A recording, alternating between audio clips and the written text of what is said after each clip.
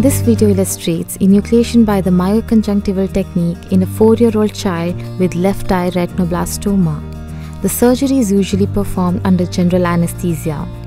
After the patient is prepped and draped, a wire speculum is placed to exclude the eyelashes from the field. A lateral canthotomy is performed. A 360 degree peritomy is done using a blunt tip Westcott scissors, cutting as close to the limbus as possible.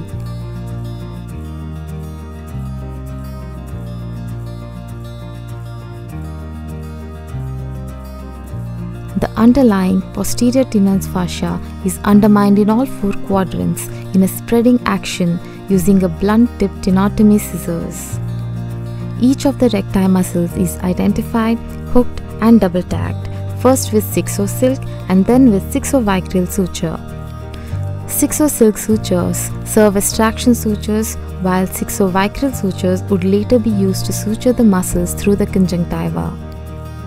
Each of the recti muscles is then transected at a point between the two sutures.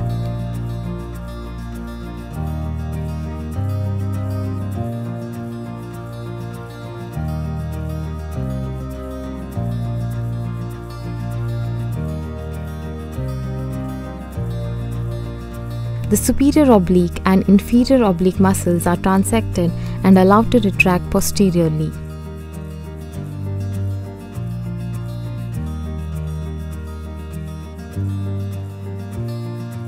A conjunctival relaxing incision is made for easy manipulation. The eyeball is then prolapsed between the blades of the speculum. With a forward traction on the eyeball using the four silk sutures, a gently curved blunt-tipped tenotomy scissors is passed along the lateral wall and the optic nerve is strummed along the length.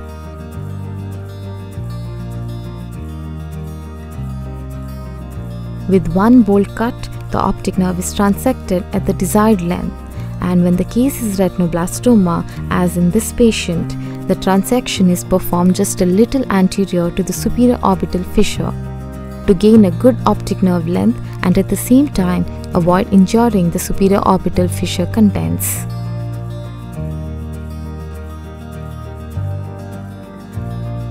After achieving adequate hemostasis, an appropriate sized silicone orbital implant is placed posterior to posterior Tenon's. Posterior Tenon's fascia is closed with interrupted vicryl sutures.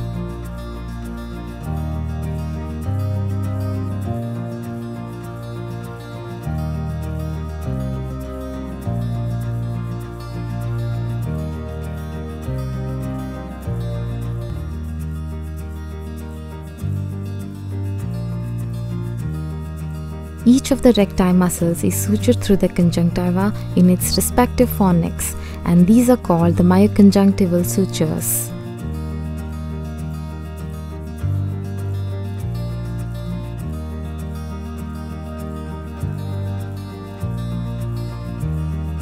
Anterior Tenon's fascia is closed with interrupted vicryl sutures. Conjunctival closure is done in a continuous key suturing pattern with 6 vicryl suture.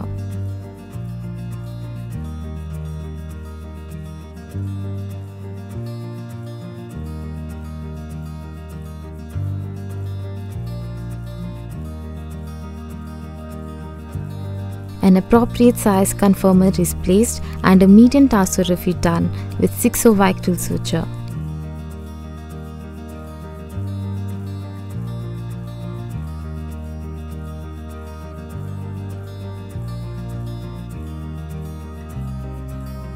The suture tarsorrhaphy is removed after one week and customized prosthesis can then be placed in the socket after 6 weeks to achieve an excellent static and dynamic cosmesis.